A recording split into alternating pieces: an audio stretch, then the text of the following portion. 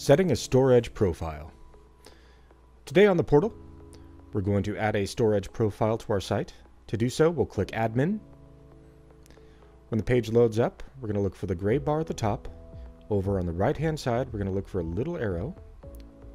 Click it, and then click on Energy Manager. From here, we can set generic profiles like maximize self-consumption or backup only. In this case, what we're going to do is we're going to click apply this profile to apply a profile that we created in advance on our account. We'll select our profile and then click Save. After we click Save, we'll get a confirmation dialog. Read and click Yes if you agree. And the profile will be applied to your inverter during the next reporting period. Thanks for joining us in the SolarEdge Learning Lab.